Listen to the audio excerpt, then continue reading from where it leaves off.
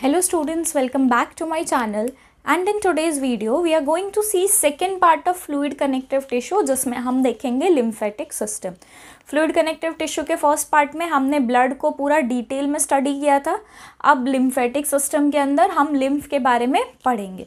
ठीक है? तो सबसे पहले मैं आपको बता दूँ कि लिम्फ क्या वर्ड है. ओके तो जैसे ब्लड है वैसा ही एक हमारी बॉडी में फ्लूइड होता है lymph but it is colourless colourless इसलिए है क्योंकि ये लैक करता है RBC that is red blood cells इसमें नहीं है. इसके अंदर क्या प्रेजेंट है? तो इसके अंदर प्रेजेंट है प्रोटीन्स और डब्ल्यू बहुत सारे प्रेजेंट है इसके अंदर.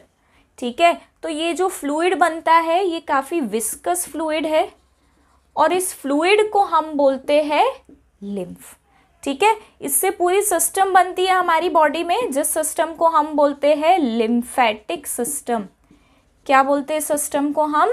लिम्फेटिक सिस्टम ठीक है? Is this clear lymphatic system क्या है? Okay okay.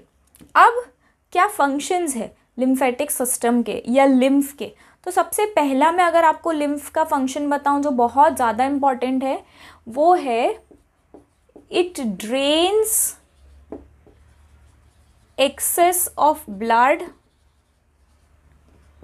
back to veins and heart ठीक है? अब आपको ये पता होगा कि आपकी जो ब्लड वेसल्स होती है, ठीक है? आर्टरीज बहुत ब्रॉड होगी, फिर आर्ट्रियोल्स उससे छोटी होगी कैपिलरीज और छोटी होगी। तो जब ब्लड का मूवमेंट होता है डायामीटर ज़्यादा से जैसे जैसे कम में जाएगा तो उसका प्रेशर बढ़ेगा। ठीक है? तो उस वक्त क्या होता है? थोड़े थोड़े ब्लड सेल्स स्क्वीज होके बाहर निकल जाते हैं। जैसे मैं किसी चीज़ को प्रेस कर रही हूँ तो क्या होगा कि उसमें से कुछ पार्टिकल स्क्वीज होके बाहर निकल जाएँगे। तो ऐसा हमारा जो ब्लड इस तरह से स्क्वीज आउट हो जाता है, बाहर निकल जाता है, इस ब्लड को क्या करते हैं? लिम्फ उस ब्लड को कलेक्ट करता है और उस ब्लड को दोबारा से ड्रेन करके दे देता है वेन्स को। वेन्स को ब्लड इसलिए दिया जाता है क्योंकि वेन्स हमेशा ब्लड किसको देती है? हार्ट को। तो वेन्स ने वो ब्लड किसको दे दिया? हार्ट को। हार्ट क्या करेगा? उस ब्लड को अब पंप करके पूरी बॉडी में सर्कुलेट कर देगा। लिम्फ तो पंप कर नहीं सकता ब्लड को।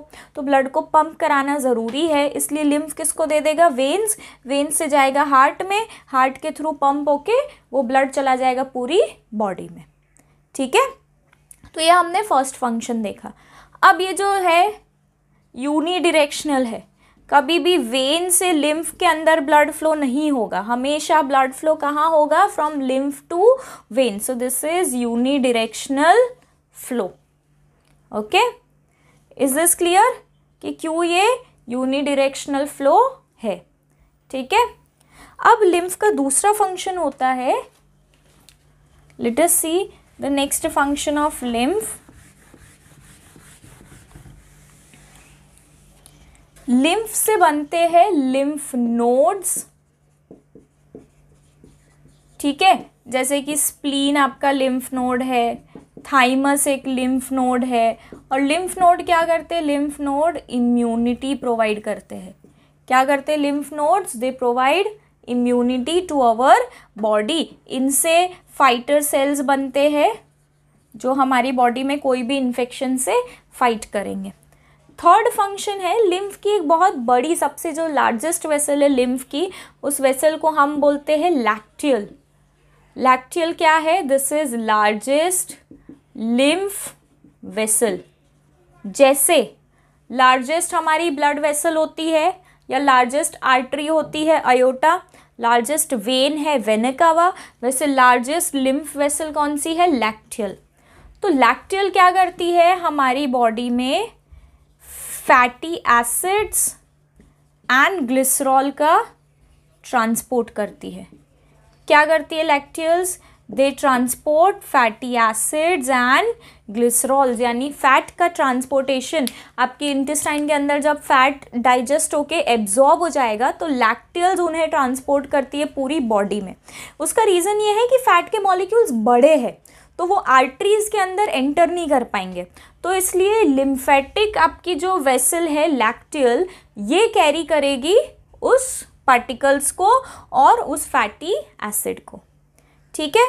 तो ये हमने देखा लिम्फेटिक सिस्टम इसके अलावा क्या होता है? लिम्फ नोड्स मैंने आपको बताया। लिम्फ कैपिलरीज भी होती है। लिम्फ कैपिलरीज भी क्या करेगी? ब्लड को ड्रेन करके एब्जॉर्ब करने में हेल्प करेगी। ओके इज़ दिस क्लियर तो ये हो गया हमारा लिम्फेटिक सिस्टम और यहाँ पे हमारा फ्लूइड कनेक्टिव टिश्यू के हमने दो पार्ट देखे। ब्लड एंड लिम्फ ठीक है ब्लड में सर्कुलेटरी सिस्टम आ जाएगी लिम्फ के अंदर क्या आ जाएगी? Lymphatic system okay so in my next lecture we are going to see about dense और फाइब्रस कनेक्टिव टिश्यू जिसके अंदर we are going to see ligament and tendon okay if you like my video then please share and subscribe thank you.